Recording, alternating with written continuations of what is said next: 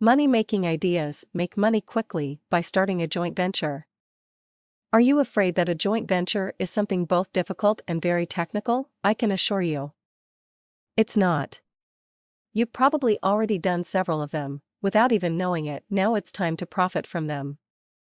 Using a joint venture is a quick money making idea. What is a joint venture? A joint venture is one where two or more people or companies work together. Very frequently, they only join for a particular cause, like selling vendor A's product to vendor B's list. Vendor B will then get a share of vendor A's income, and vendor A will gain higher exposure of his product. You will often see a joint venture named by the acronym JV. If you already sell affiliate products, you are in fact part of a joint venture of a kind. Normally, when we speak about joint ventures, the connections are closer than this. The easiest way to form a joint venture in one of my favorite French movies, the star just returns from the US and his friends ask him, Tell me, Patrick. Didn't you have problems with your English over there? Most people know that French people, in general, speak relatively poor English. But, in spite of this, Patrick answered, Not at all. When I came to America, it was to buy.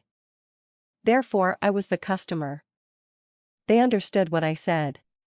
He said this in French, of course. I'm only translating for your convenience. You can use the same method.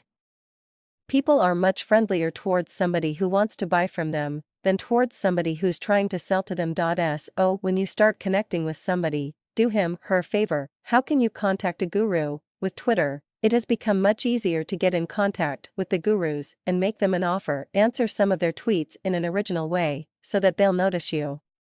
From there, you can start connecting more closely with them.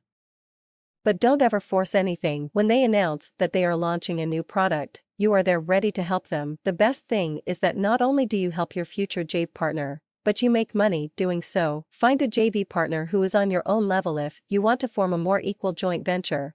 You should find a person who is on the same level as you, meaning somebody who is just about the same number of followers on Twitter, or subscribers on his, her list, IT will be easier to swap products with such a partner than if you choose one of the bigger and more established gurus.